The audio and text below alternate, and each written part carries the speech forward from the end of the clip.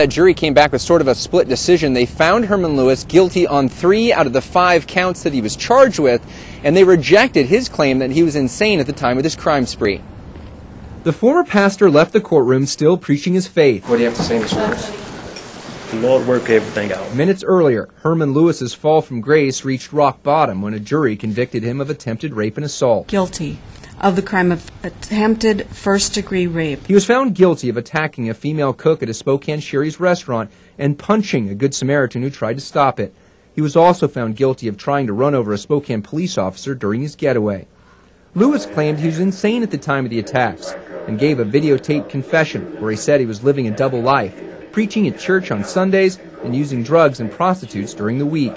Detectives investigated his claims and found Lewis had rented rooms at local motels. Was he using prostitutes? Um, we never had solid evidence of actual acts. We had indications that that may very well have been true. He's guilty. Yep. the- Yep. The mother of the restaurant cook Lewis tried to rape called her after the verdict and said her daughter cried at the news. Awesome. Justice has been served. Now, the jury found Lewis not guilty of indecent liberties with the cook and assaulting a second police officer. He faces up to 20 years in prison when he is sentenced sometime next month. Reporting live, Erik Loney, KXLY4.